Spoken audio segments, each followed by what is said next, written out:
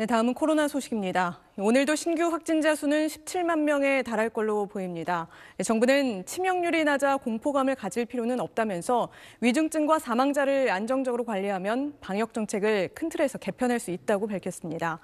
하지만 확산 속도가 정부의 예측보다 너무 빨라서 의료 체계에 부담이 될 수 있다는 우려도 나오고 있습니다. 정다은 기자입니다. 신규 확진자 17만 명은 지난주 같은 요일과 비교할 때 거의 두 배로 늘어난 규모입니다.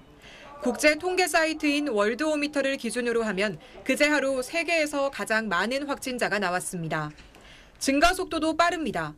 국내 분석기관들은 어제 기준 13만 명 이상, 일주일 뒤인 다음 달 2일엔 17만 명 이상을 예측했는데 일주일 정도 앞당겨진 셈입니다. 다음 달 중하순으로 예상되는 정점대의 확진 규모도 예측치인 최대 27만 명보다 더 클 가능성이 있습니다. 하지만 정부는 두려움을 갖지 말라고 당부했습니다. 과거와 같이 확진자 수만 가지고 지나친 두려움이나 공포감을 가질 필요는 없다. 그런 걸 분명히 말씀드립니다.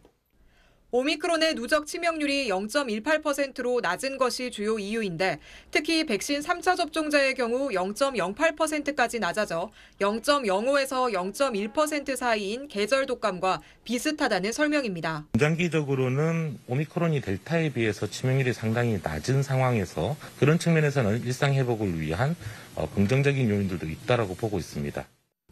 정부는 위중증 환자와 사망자 수를 안정적으로 관리할 수 있다는 판단이 서면 거리두기 등 방역 정책을 큰 틀에서 개편하겠다고 밝혔습니다. 하지만 현재 위중증 환자는 35일 만에 다시 500명을 넘었고 그제 사망자도 99명으로 역대 네 번째로 많았습니다. 한편 대구지법은 대구시민 300여 명이 대구시를 상대로 낸 방역 패스 집행정지 신청에서 원고의 신청을 일부 인용했습니다.